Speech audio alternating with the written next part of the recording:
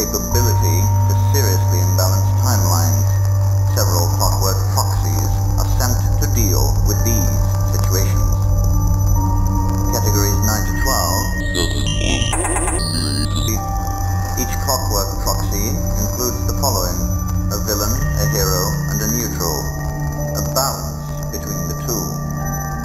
These three are all representative of the moral scale.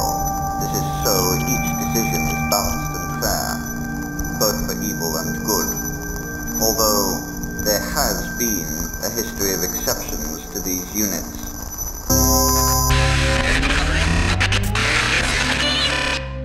Here begins the classified section of the document. Balance comes with sacrifice. A timeline that becomes too imbalanced shall be destroyed. No exceptions. Any and all actions must be taken. This includes genocide. We cannot risk the probability